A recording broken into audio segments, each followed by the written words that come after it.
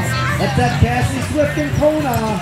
Coming to us from Plain City, Utah, the one-year-old Chesapeake Bay Retriever. And Kona's also a birthday boy today. He's currently sixth in second place. He can get one inch at 23 feet to tie for first right now.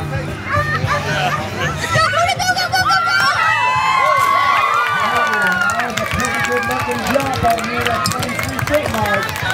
Stretching way out with Kona. Also, folks, this team you're seeing right now, they only started competing in March. All that Kona would do was run to the end of the dock, kind of slither into the waters, like Cassie says. Now look at Kona jumping in that 23 foot range. About 23 feet, 7 inches. 23 7. There you go, that team just took over the lead right there. Only